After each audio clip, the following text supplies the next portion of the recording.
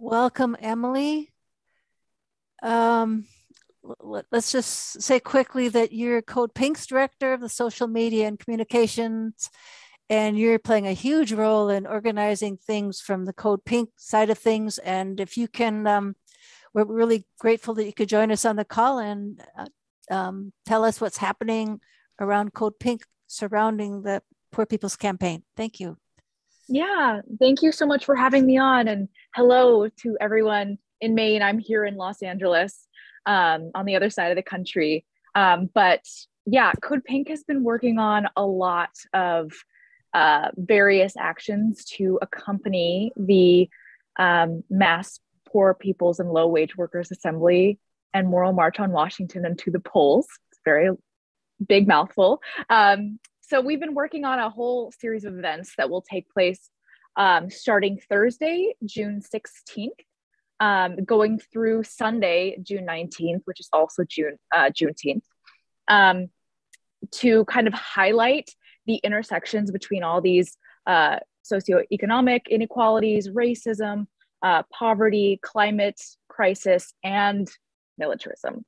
So we're kind of bringing this anti-militarism piece to, um, we're helping bring it um, along with you and a bunch of other organizations um, to the Poor People's Campaign and explain the uh, various ways that militarism uh, contributes to all the horrific injustices and inequalities we have here in the US. So, um, starting on June 16th, we're going to be having um, that morning, we're going to have an action outside of Congress um, that's going to be led by our national co director, Ariel Gold. So, that's happening June 16th and the morning of the 17th. Um, Friday, June 17th, we're going to be having, um, following a community dinner that I believe the Poor People's Campaign is, is um, organizing, we're going to have a peace illumination. So it's going to be a kind of installation piece um, that we're all going to like walk to following the meal. Um, then the 18th, which is the big day of the assembly in March, we're going to be um, part of uh, the anti-war kind of contingent. And we have a coalition um, that we're we're building. I think we have now um, over 30 organizations um, currently signed up to join us in this um, anti-militarism kind of uh, messaging. Um, and our plan for the march is we're going to do these big art builds which if you're in dc the week prior or in the area the week prior um, we welcome you to come join us in building our big giant props so we're going to be having a prop to represent all these different um, life affirming kind of services or programs that we would rather see Pentagon spending allocated to. Um, so we're going to have like a big house for housing, um, and we're going to have cost trade offs, like how much it would cost, for example, to end homelessness in the U.S. would only cost um, like I think the equivalent of like less than two weeks of Pentagon spending. Um, so we're going to have stuff like that to really uplift those connections and the intersectionality there. So we're going to have healthcare, we're going to have housing, education, climate change, police militarization, reparations, nuclear abolition. Um, so we're currently uh, trying to organize um, folks from different organizations into these different kinds of groups um, so we can have our messaging clear and um, you know inter- intersecting with what the poor people's campaign does because it's all so very connected um, so that's going to be during the big march. Um, we're also going to be having um, some fun, like peace garden kind of stuff where we're going to have some painted pots, hopefully, and um, stuff like that. So, really emulating the kind of local peace economy during that um, march. Uh, following that, um, I know this is a lot. We have like, I think, seven or eight different events. Um, following that, on the 18th, that Saturday, we're going to be having an anti militarism teach in. Um, the location for that is still um, up in the air. We're still trying to figure out where everything is going to happen.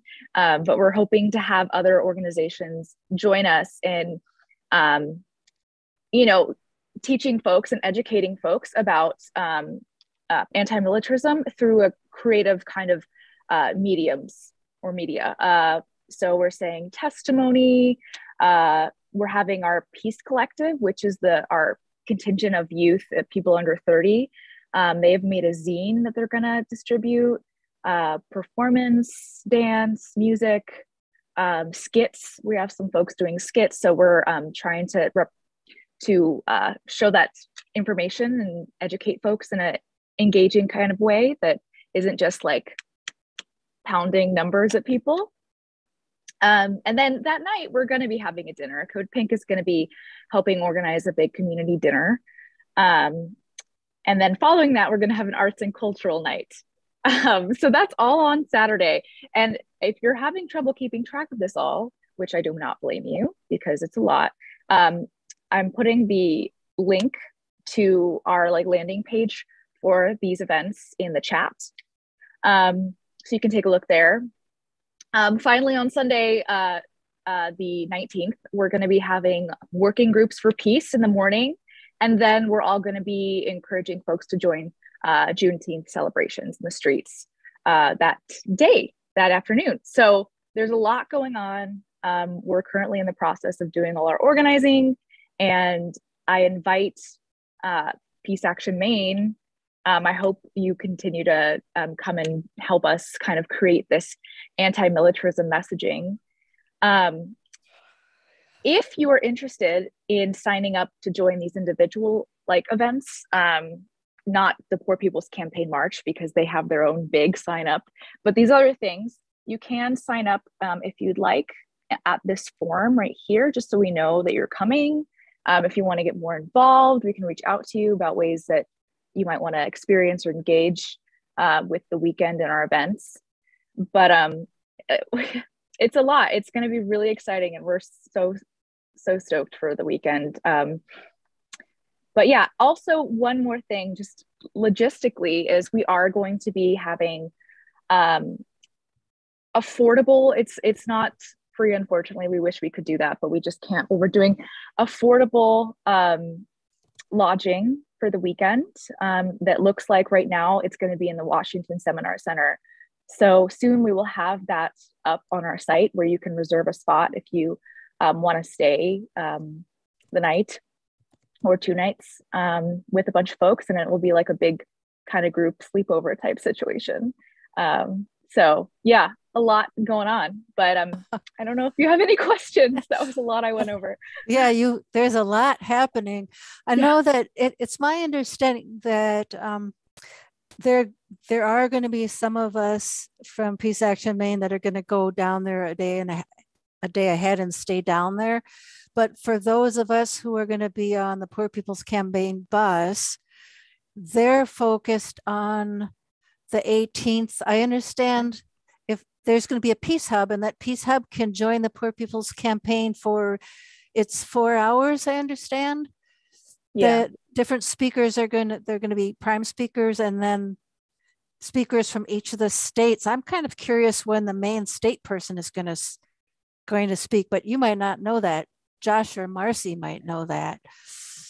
Uh, not quite. We don't quite have the the lineup yet, uh, but yes, there, there's there's planning to be impacted speakers from each of the, I believe, 40 states represented, um, or as many as as are able to get um, get there. So great. I don't know the specific. All right. Any last minute questions? I want to be respectful of our time. I see that we've come up to five already, which um, is a little, little rude. It happened a little too fast for me, but if there are any questions, otherwise, we have a lot of great links that are put in the chat that I will save and share with everyone else. So unless anyone else has a question, John, I see you're unmuted. Do you have any question or you just? Nope. Uh, but when the opportunity arises, I plan to call Marcy and find out about the bus on the 18th. And uh, I'm hoping to be there. Wonderful. And uh, as I talk with you, Martha, I'm hoping to explore more possibilities as to how I can participate. Wonderful. Okay. Well, thank you all so much.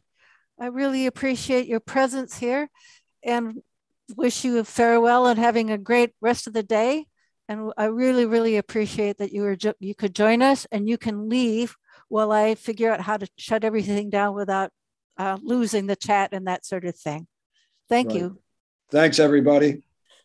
Thank you for having me. Thanks, everybody. Thanks, Martha.